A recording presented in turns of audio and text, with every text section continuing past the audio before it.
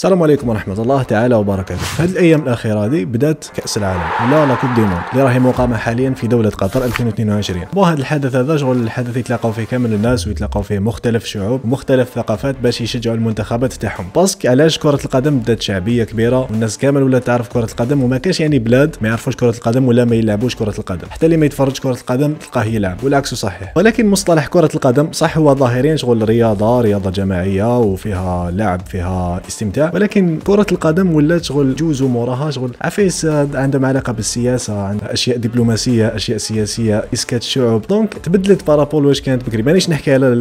لا تكنيك ولا لي جوال ولا بتشوف بزاف عفايس شابين ولكن نحكي على ما وراء كره القدم شغل ما بقاتش النيه صافيه ما بقاتش شغل يعني البراءه شغل تحس كاين عفايس يجوزوهم وراء كره القدم دونك اسك هاد الحاجه كاينه منها واسك توافقوني الراي دونك اكتبوا لي الاراء تاعكم في التعليقات السلام عليكم ورحمه الله